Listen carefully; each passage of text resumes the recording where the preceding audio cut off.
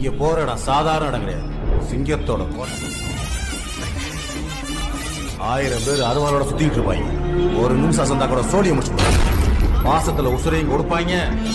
கோபத்துல உசுரையும் எடுப்பாங்க.